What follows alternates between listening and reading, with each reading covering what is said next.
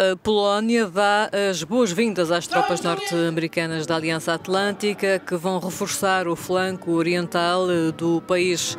A primeira-ministra polaca, Beata Szydło, saudou os militares na base de Zangan, no sudeste da Polónia, acompanhada pelo ministro da Defesa. É um grande dia em que podemos acolher os soldados americanos, representantes do melhor e mais forte e maior exército do mundo em solo polaco, aqui em Zangan najwspanialszej armii świata.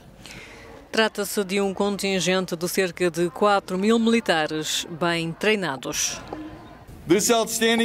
Esta brigada excepcional é uma força altamente capaz, pronta com o melhor equipamento, liderança e melhor treino do que qualquer força de combate ao mundo. Depois dos primeiros exercícios na Polónia, os militares vão ser distribuídos pela Bulgária, Roménia e pelas três repúblicas bálticas, Lituânia, Estónia e Letónia.